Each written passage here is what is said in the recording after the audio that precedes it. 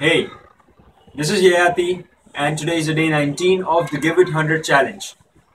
The topic for today is how to shift your focus.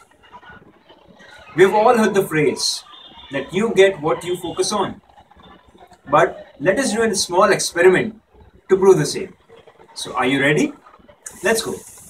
Focus on the things, all the things that are red around you right now. Focus on red, focus on red, focus on red. Focus on all the things that are only red around you. Now, I want you to close your eyes and try to recall things that were blue. Are you able to recall anything that was blue? Probably not.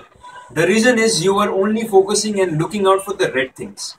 Now, again, I want you to close your eyes and focus on all the things that are blue. Focus on blue, focus on blue, focus on blue now. And now close your eyes and try to remember the things that were blue.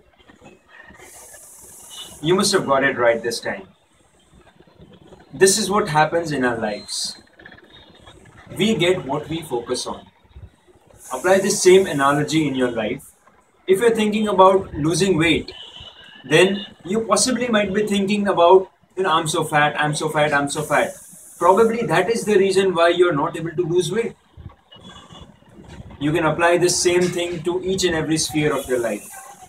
So, in order to shift your focus, just become aware of the things that you are focusing on right now. I hope this helps. Thank you and have a beautiful day.